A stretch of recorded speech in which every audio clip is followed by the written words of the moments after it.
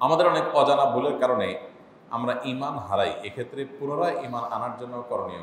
Islamic গানের মধ্যে music ব্যবহার করা যাবে কিনা? সন্তানের কোন আমলে মৃত মা বাবার গুণা মাফ হয়? খুব সুন্দর এবং প্রয়োজনীয় একটি প্রশ্ন মাসাল্লাহ সন্তানের কোন কোন আমলে মা বাবার উপকার হয়? এর উত্তর হলো যে, সাধারণত বান্দার নিজের আমল তার নিজের উপকার হয়। আল্লাহ বলেছেন, লাইসাল ইনসান ও আল্লাহ ইনসান ইল্লা মা সাআ। মানুষ নিজের জন্য যেটা পরিশ্রম করে, কামাই করেছে, উপার্জন করেছে সব আহরণ করেছে, এটাই তার। আরেকজন তারটা কামাই করে দিবে না, দিতে পারে না। এটা হলো সাধারণ কথা। কিন্তু মা বাবার ক্ষেত্রে সন্তানের কিছু কিছু আমলের প্রভাব মা বাবার মৃত্যুর পরও তাদের উপর পড়ে। তার ভিতরে প্রধানতম আমল হলো, সন্তান নিজে যদি ভালো কাজ করে এবং পাশাপাশি বাবা মার জন্য দোয়া করে। এইটা বাবা মার জন্য অনেক বেশি উপকার পায়।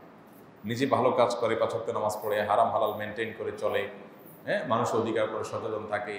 নিজে ভালো মানুষ হওয়ার পাশাপাশি মা বাবার জন্য দোয়া করে। এটা মা বাবার জন্য অনেক উপকার আসে।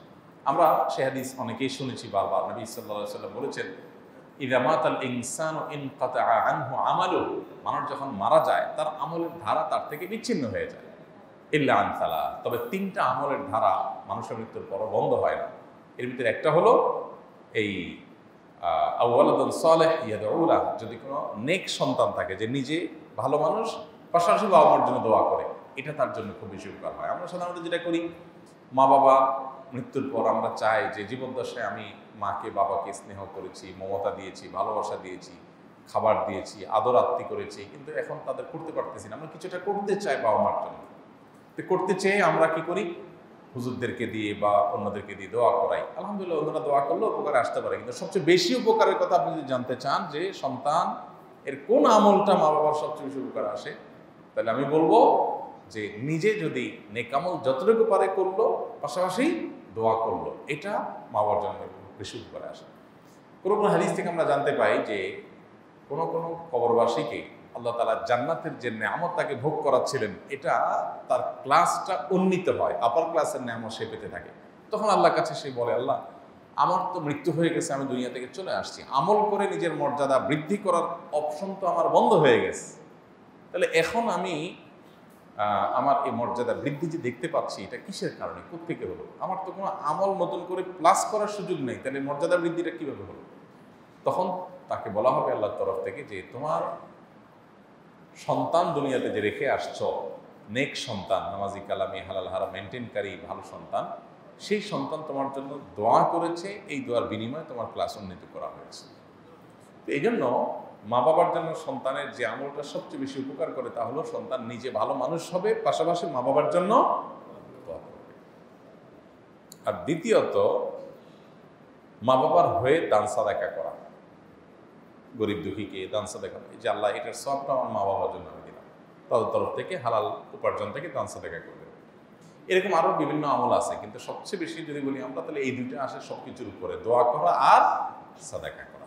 আল্লাহ আমাদের মৃত মা বাবা আত্মীয় স্বজনদের জন্য আমাদের পক্ষ থেকে যে করণীয় আছে, সেগুলো করার তফিক দান করব ইসলামিক গানের মধ্যে মিউজিক ব্যবহার করা যাবে কিনা? ইসলামিক গান এটাতে যদি মিউজিক যুক্ত হয়, তাহলে তার ইসলামিক গান হলো না। এটা তো অন ইসলামিক গান হয়ে গেল। আমাদের অনেক ভাইরা আছেন যে ইসলামিক গানের মধ্যে সফট মিউজিক দেন। কি মিউজিক সফট বোঝার কোনো উপায় নাই। ওইরকম ভারী ঢোল তবলার আওয়াজ নাই। কিন্তু হালকা করে একটু লেয়ার দিয়ে দিছেন পিয়ানো দিয়ে, এটা দিয়ে, সেটা দিয়ে। মানে বোঝা যায়, যারা খুব প্রাজ্ঞ, যারা এই বিষয়ে বোঝেন, তারা খেয়াল করলে বুঝেন যে এখানে সফট মিউজিক আছে। বাট খালি কানে শুনলে ওরকম মানে সাধারণ সাধারণ মানুষ বুঝতে পারেন না যে এখানে মিউজিক আছে কিনা। তো এই প্রশ্নের উত্তর হলো যে সফট মিউজিক হালকা মিউজিক দিল আর কি, এটাতে কোনো অসুবিধা হবে কিনা? এর উত্তর হলো যে কোনো পানিতে, কোনো খাবারে যদি হালকা বিষ মিশান, অসুবিধা হবে? হালকা, একটু একটু করে মিশান প্রতিদিন এক ফোঁটা এক ফোঁটা করে দিলেন, কি বলেন, অসুবিধা হবে? হবে। তো সফট বিষ, এটা যদি আমাদের জন্য ধ্বংসের কারণ হয় সফট মিউজিকও ধ্বংসের কারণ হবে। কোনো অবস্থাতে হালাল নাই। ইসলাম এত মিসকিন হয়ে যায় নাই যে ইসলামী সংস্কৃতি বা গান এটা টিকে রাখার জন্য হারামের কাছে যাইতে হবে। কোনো দরকার নেই। ইসলাম একেবারে পরিষ্কার। নবী সাল্লাহ সাল্লাম বলেছেন, আল হালাল বাইয়িন ওয়াল হারাম বাইয়িন। অবাইন অমর মুস্তাবাহা মুস্তাবিহা হালাল একেবারে পরিষ্কার। হারামও পরিষ্কার। এটা করা যাবে, এটা করা যাবে এর মাঝখানে কিছু বিষয় আছে সন্দেহপূর্ণ। মানুষ ধরতে পারে না, সূক্ষ্ম। এগুলো থেকে বেঁচে থাকতে হবে। এগুলো থেকে বেঁচে থাকে, সে তার তাকুয়াকে হেফাজত করে। বিধায় ইসলামের সংগীত শোনার নাম দিয়ে এই সফট মিউজিক সহ যে গান আছে, এগুলো যদি শুনেন, তাহলে আপনি গুণাকারী হলেন। ওই যে বিষ একটু একটু করে, অল্প অল্প করে খাইলেন। একসাথে খেলেন না, কিন্তু একটু একটু খাইলেন। তো ধ্বংস ঠিকই আনবে, হয়তো একটু সময় লাগবে। এই বিধায় এগুলো থেকে আমাদের বেঁচে থাকা দরকার। জাজাকুল্লাহ খেয়ে আমার মহল্লার মসজিদে একটি সিলিং ফ্যান দিতে চেয়েছিলাম। এদিকে আমার গ্রামের বাড়িতে নতুন মসজিদ হয়েছে। সেখানেও ফ্যানের প্রয়োজন। এখন আমি মহল্লার মসজিদের ফ্যানটি যদি আমার গ্রামের মসজিদে দিতে চাই, দেওয়া যাবে কি না? এ প্রশ্ন উত্তর হলো যে, যদি আপনার মহল্লার মসজিদে ফ্যান দেওয়ার শুধু নিয়ত করেছেন, মনে মনে যে আমি দেব, জাস্ট আপনার ইচ্ছা, পরিকল্পনা। কিন্তু পরবর্তীতে দেখলেন আপনার গ্রামের বাড়িতে মসজিদ হচ্ছে সেখানেও ফ্যানের দরকার। তাহলে গ্রামের বাড়িটা যদি বেশি প্রয়োজন হয়, সেখানে দেওয়ার লোক বরং কম থাকে, তাহলে আপনি গ্রামের বাড়িতে দিতে পারবেন, কোনো অসুবিধা নেই। ভালো কাজের নিয়ত পরিবর্তন করা যায়। আমি নিয়ত করলাম, এই জায়গায় দেবো, পরে চেঞ্জ করে আরেক জায়গা দিলাম। এটাতে কোনো অসুবিধা নেই। কিন্তু একটা হলো নিয়ত আর একটা হলো প্রতিজ্ঞা দুটা দুই জিনিস। যদি আপনি আর হলো প্রতিশ্রুতি প্রতিশ্রুতি আর নিয়ত দুইটা এক জিনিস না। যদি আপনি কোনো মসজিদের লোকজন নাম লেখাইছে, তখন তাদেরকে নাম লেখাইলেন অথবা তাদেরকে প্রতিশ্রুতি দিলেন যে আমি দেব, তারা আবার এটার উপরে প্ল্যান করে একটা কিছু করেছে। এখন আপনি হঠাৎ করে ডিসিশন নিলে চেঞ্জ করলে তারা ক্ষতিগ্রস্ত হবে, তারা জানতো না, হয়তো অন্য ডোনার পাইতো, তখন আর এখন তারা পাবে না। এরকম যদি হয়, তাহলে সেক্ষেত্রে আপনার ওয়াদা রক্ষা করা উচিত। এবং বাইরের মসজিদে আরেকটা ফ্যান আপনি দিলেন অথবা চেষ্টা করলেন কিন্তু আপনার আগের প্রতিশ্রুতি থাকলে সেটা রক্ষা করা কর্তব্য।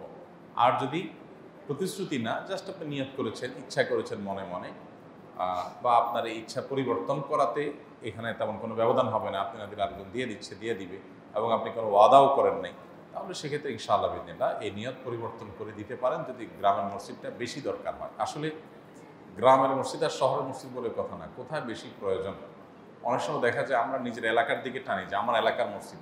এলাকার মসজিদ বলে একটা দায়িত্ব থাকে, ঠিক আছে। কিন্তু যদি তার চাইতে দূরের কোনো মসজিদ যেটা আমার এলাকার না, সেখানে যদি প্রয়োজনটা আরও বেশি হয়, তাহলে সেক্ষেত্রে ওই জায়গায় আমাদেরকে দেওয়ার চেষ্টা করতে হবে, ইনশাআল্লাহ। আমরা অনেকে নিজের মহল্লার মসজিদকেই প্রায়োরিটি দেই, যে আমার এলাকার মসজিদ, এখানে আমি দিলে সবাই জানবে, অথবা এর প্রতিটা দুর্বলতা আছে, দুর্বলতা থাকাটা দোষের না।